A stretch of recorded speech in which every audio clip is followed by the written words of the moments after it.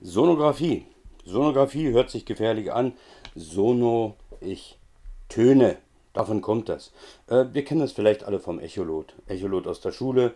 Nichts Besonderes. Ein Kriegsschiff hat damals äh, mit einem extra Lautsprecher entsprechende Signale nach unten ausgestrahlt. Wenn die reflektiert wurden, konnte man anhand äh, der Zeit, die es gebraucht hat, über die Wellenausbreitungsgeschwindigkeit den Weg ermitteln und dann konnte man entsprechend die Wasserbomben einstellen und so weiter.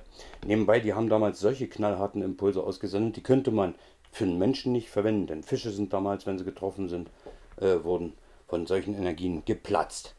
Ähm, die Mediziner interessiert eher der Sonograph, beziehungsweise wenn ihr das Wort mal US, dann ist damit Ultraschall gemeint und nicht United States, äh, US-Echograph seht, dann ist das gleiche gemeint.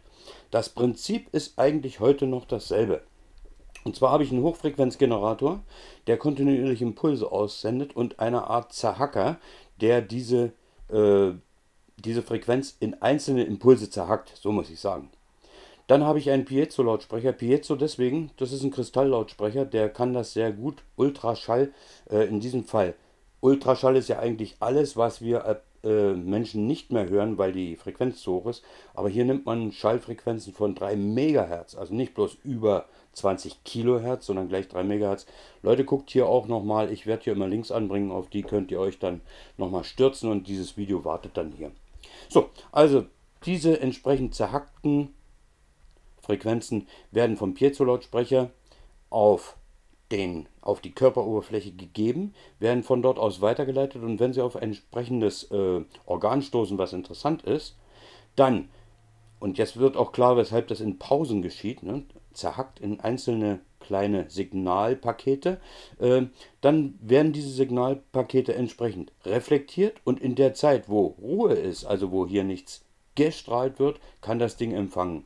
Und jetzt lässt sich auch einsehen, je weiter entfernt vom Piezo-Lautsprecher ein Teil des Organs ist, umso später strahlt es zurück. Und das macht man dann mit einer Auswerteelektronik und Monitor alles sichtbar. Ich muss mal sehen, ob ich das noch raufkriege.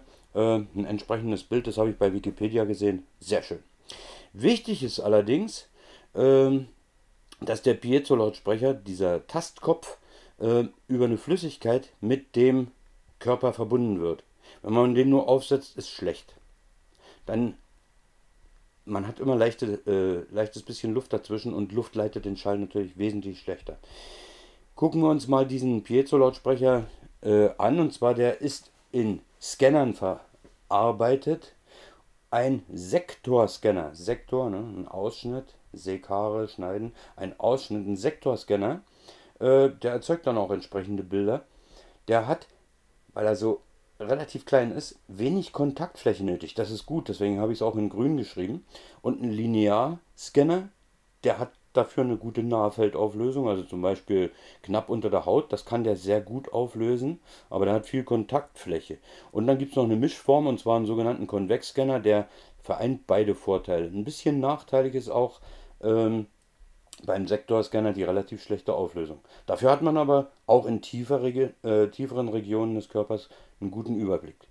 Diese viel Kontaktfläche, wir hatten ja gesagt, es ist immer schwierig, den Kontakt hier hinzukriegen. Das heißt, diese viele große Kontaktfläche beim Drüberstreichen über den Körper, äh, ja, die muss man dann eben mit entsprechend viel gelartigen Substanzen ausgleichen. So, jetzt mache ich mal das Bild leer und werde mal versuchen, ob wir das äh, von Wikipedia hier hinkriegen. Guckt euch mal an, das ist ein Fötus, ein Baby, neun Monate alt. Ne, elf Wochen. Elf Wochen, neun Monate. Ja, ja.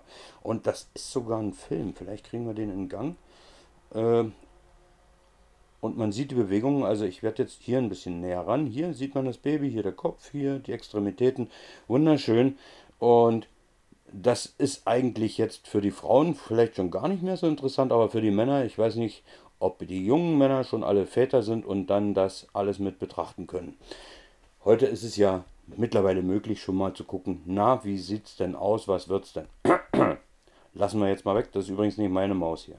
So, während ich noch rede, ich werde jetzt hier, wie gesagt, hier oben sind die ganze Zeit Links sichtbar. Ihr könnt das Video dementsprechend dann anhalten.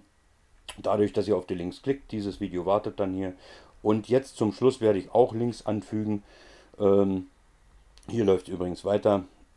Guckt bei äh, Wikipedia nach Sonographie, glaube ich. Äh, da lässt sich das alles schön betrachten. Jo, dann, ich wünsche euch was und auch ein bisschen Freude an diesem letzten Teil des Videos. Es ist doch immer wieder erstaunlich, ne?